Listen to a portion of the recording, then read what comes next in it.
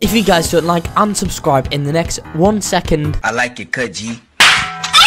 Hello then, welcome back to another video. Today we're on Bee Simulator. I'll be showing you guys how you can get go ahead and get huts in this game, guys. Huts, uh, a new feature that's been added to Bee Simulator where it'll give you guys a special boost in game which is awesome so guys this is going to be an awesome video that you all are not going to want to miss out on before um another thing that you all are not going to miss out on is rblxcodes.com that's my roblox code website where you can find out game codes music codes and guides. So there's tons of stuff in there that you guys have to check out.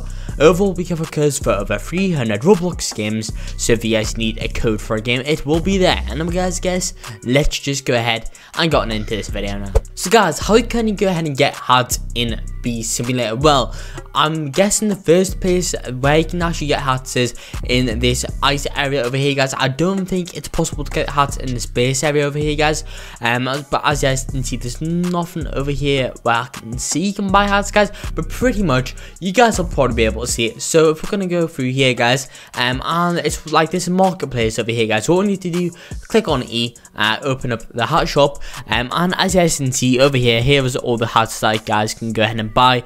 Um, the more stars I have, the better they are. Uh, let's go ahead and actually quickly buy these. And as you can see, like hat inventory right now, guys.